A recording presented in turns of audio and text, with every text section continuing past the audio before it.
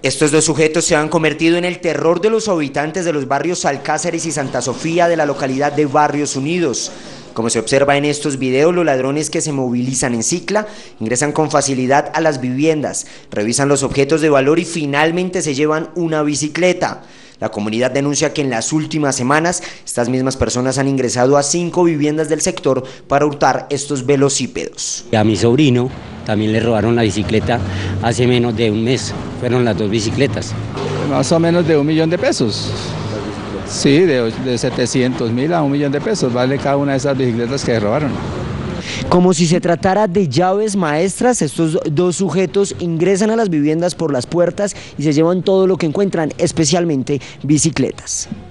Y eso pues se incrementa porque las bicicletas pues les borran el número, ¿sí? Y la, y las vuelven a vender.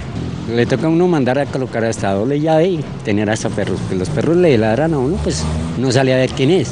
Los habitantes de la zona piden mayor presencia de la policía para que se capture a estos dos sujetos. Según cifras de la Policía Metropolitana de Bogotá, este año han sido hurtadas 960 bicicletas en Bogotá, según los reportes de denuncias a la institución.